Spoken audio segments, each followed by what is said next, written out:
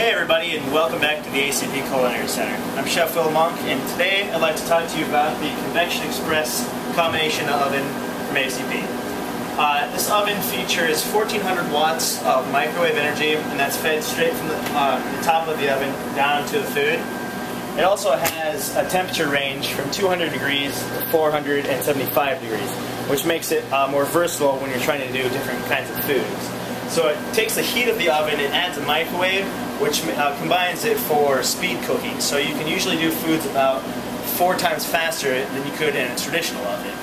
Uh, this oven's also completely pre-programmable, so once you have something programmed into it, it's just touch and go from there, and it can hold 100 items in the oven, so it has lots of room to expand on whatever items you're trying to do. I'll go ahead and cook a few items for you to just give you some idea of the versatility of the oven first item we're going to do for you is nachos. This is just a heaping uh, portion of nachos. It's on an uh, oven-safe plate, so that can go straight into the uh, unit. So we go into the oven. It's already pre-programmed, number one, to cook. So all you have to do is press number one, and it's away and cooking. And this item is going to use 100% of the microwave for a minute and 25 seconds total cook time. Now you can vary all the different uh, different elements of the oven, so you can lower and higher the temperature as needed, and you can also control the amount of microwave you're putting in. So if this item was more delicate and we didn't want as much microwave, we can uh, lessen the amount that we want in 10% increments, all the way down to zero or up to 100. So we'll and let this cook. Alright, now that the food is done, just remove it from the oven. Make sure you use a hot pad because it, the oven is hot. And there you go. You have browning on top, steam coming off it, it's hot, hot all the way through and then go straight out to your table, ready to eat. So next item I want to do for you is a uh, quesadilla. Uh, this is already pre-made, but it's got chicken, cheese, uh, cilantro, and salsa in it. So this is actually going right on our grill plate in the oven, so you'll get a grilled look to this item. So that goes into the oven. Again, it's already pre-programmed. I know it's program number two, so all I have to do is walk up, press number two, and that's going to go for two minutes at 80% microwave. It's a little bit longer cook time, but it needs that time to get the grill marks uh, on the item. And then 80% because it is the longer time, we don't need 100% microwave for the full time. Uh, this, this oven has an actual nice application for anywhere that you want to expand on your menu, but you don't have very much room in your kitchen. So it's like having a small oven you, you can place almost anywhere in a, in a kitchen. So we'll go ahead and let that item cook. Okay, now that the oven is done, uh, we'll go ahead and take it out of the oven. So if we get some browning on top, the real feature is the grill marks that you get from having it on the accessory. So as you can see, it's steaming all the way through, it's hot, ready to go. Just cut that up, take it out of your table, and you're ready to go. Uh, the next item we'll go ahead and do is shrimp.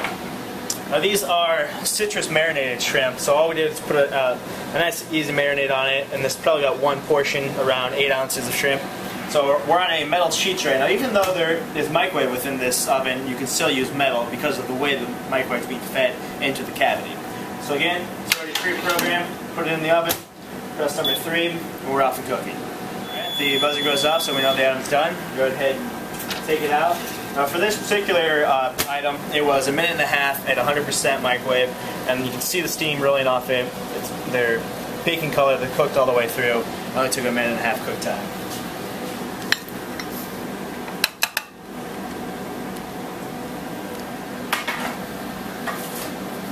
Uh, uh, the last item I want to do for you is some potato wedges, which will show the browning of the oven.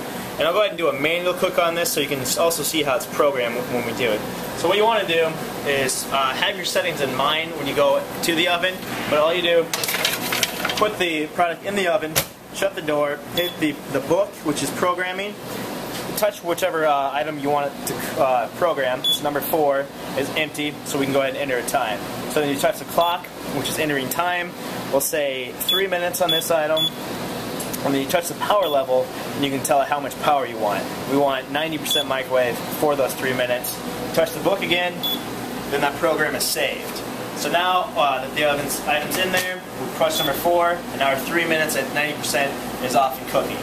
Now this oven um, is nice because you can program the 100 items into it and then you can transfer uh, information from this oven to another oven using a card that you just download the information onto and then you take it to another oven, upload it, so both ovens will be exactly the same. So we'll go ahead and let this cook and we'll see what it looks like after three minutes. So the oven's done. Go ahead and take the items out. As you can see, they're brown, golden, hot all the way through, steam coming off, and you're ready to go. Go ahead and plate these up for you. So there you go, a wide variety of items done in the, in the oven. We have raw foods, we have uh, foods that are browning, quesadilla. It's a full meal in a very short amount of time, all done in the Convection Express. Uh, if you have any further questions on the Convection Express, feel free to contact us at the Culinary Center. We're always open for questions. I'm, I'm Chef Phil Monk. Thanks for stopping by the Culinary Center.